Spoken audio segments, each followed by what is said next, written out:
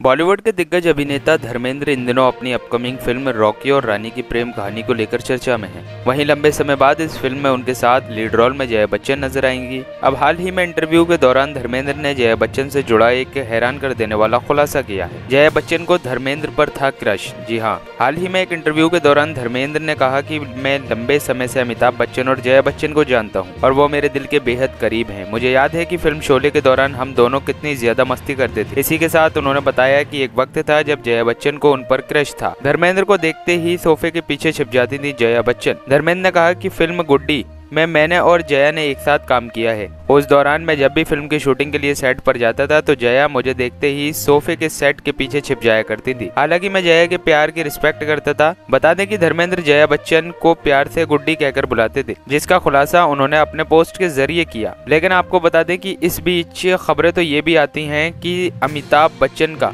हेमा मालिनी पर क्रश था। दोनों एक दूसरे की पत्नियों को चाहते थे, लेकिन गौरतलब है की दोनों की शादी एक दूसरे के साथ नहीं हुई, बल्कि उनके अपोजिट एक्टर से हुई। बहरहाल, आप सभी इस पर क्या सोचते हैं? नीचे अपनी राय हमें कमेंट सेक्शन में ज़रूर दीजिएगा। और ऐसी ही खबरों के लिए हमारे यूट्यूब चैनल को ज़रूर सब्सक्राइब करें। धन्यवाद।